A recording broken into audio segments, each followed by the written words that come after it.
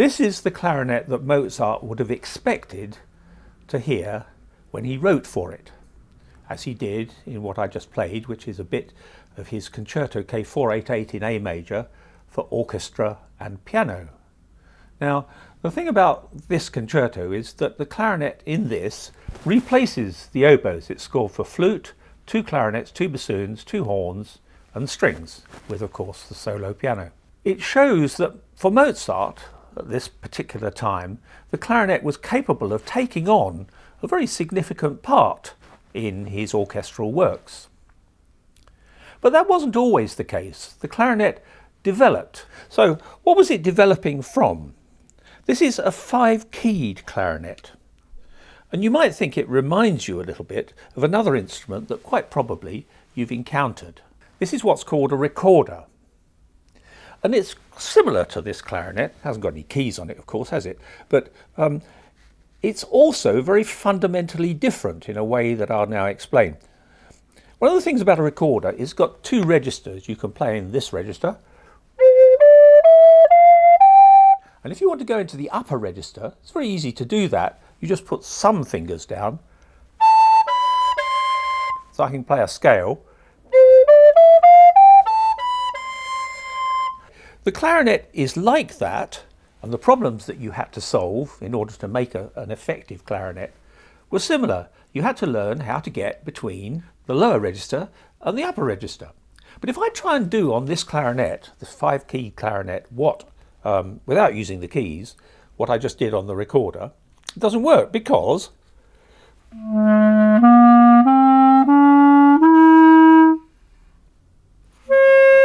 you can hear there's a huge gap. Whereas that was the next note up in the recorder, it isn't on the clarinet. So what they did was they put a key to get one, high, one note higher. You can see that that shortens the tube. By the way, what we're doing when we're moving our fingers on and off the keys is just shortening the tube. When I've got lots of fingers down, it's a long tube, and as I take my fingers off, what happens is that the tube gets shorter. So, effectively. So, it's just a way of shortening the tube. So I shorten it again by opening another hole.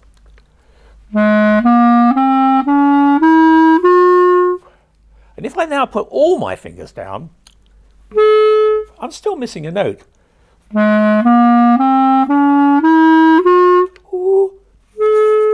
And you can hear that we need another note. So what they did was they put another key on that we do that. And what that does is it lengthens the tube slightly. So we get a lower note in between and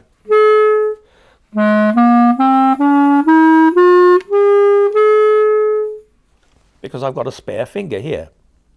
And so why we have keys on the clarinet is because we haven't really got enough fingers to do the job. That's why they put keys on it. Anyway, so this is the five key clarinet. And it was the staple instrument for quite some time. I've played later music on this. I played Beethoven's Ninth Symphony on this. And Beethoven's Ninth Symphony is quite a complicated sort of piece of music. So you can play more complicated music. But as time went on and the music got more complicated, it became much less possible to achieve the results that the composers were asking for.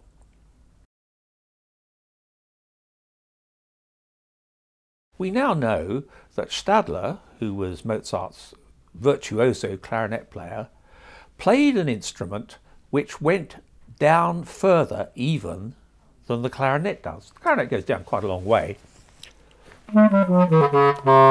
It goes down to there. But Stadler thought, and Mozart also thought, it should go da da. And so what they did was they put more keys on. So as, as well as going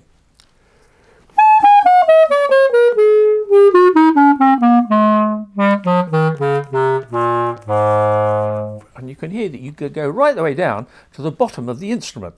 So this is what's called a basset clarinet, and it's got these extra notes, and here are the, are the uh, extra keys that you play just with your thumb. You have to develop a good thumb technique. Some people have them, some people don't. But um, anyway, so you need a good thumb technique, but it's usually just for reaching the low notes.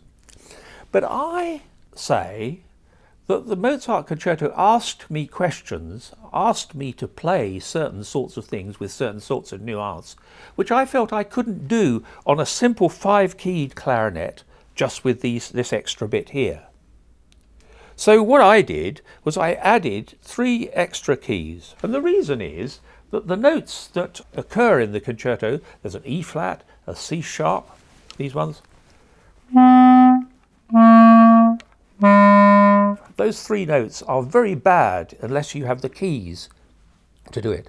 And of course, people have got round that tremendously well. I mean, I would hardly say that the people who play on simple clarinets with low extension don't do it well, but they don't do it well enough for me and my vision of the Mozart clarinet concerto. I don't want to play it on a modern instrument, like this one.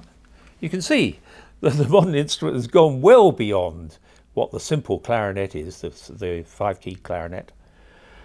So I want to keep the character of the uh, early instrument without putting all of this guff on it because I don't need that for the Mozart concerto. And so I've done the minimal requirement for Mozart's clarinet. Now there is another little bit of history that I should tell you which is that after we had made this instrument in 1984 Pamela Poulin discovered a sketch of Stadler's actual basset clarinet in a program note in Riga. But unfortunately, or fortunately, depending upon your point of view, you can't really tell exactly what the keywork is on the top of the instrument. You can tell that there are uh, keys to make the instrument go down low, but you can't tell what the keywork is on the top of the instrument. And a contemporary account said that Mozart's clarinet Stadler's clarinet, was almost overloaded with keys, but you can't see them on the drawing. What you can see is the fact that the, it didn't go straight down, it turned round and had a bulbous bell. And so subsequently, everybody who's made a basset clarinet has put a bulbous bell on it. And I did, in fact, wonder whether or not to get a bulbous bell put on my clarinet, because we now know that Stadler had one. And I spoke to uh, uh, my friend Guy Cowley, who makes instruments, and he makes basset clarinets with this bulbous bell on it. And I said, do you think it would make uh, much difference if I put, could you put a bulbous bell on my basset clarinet so that it would be more à la mode? And so he said, well, I could, but actually the low notes on your instrument are quite resonant enough. As my children might have said earlier in their lives, they're well resonant. So the end of the concerto.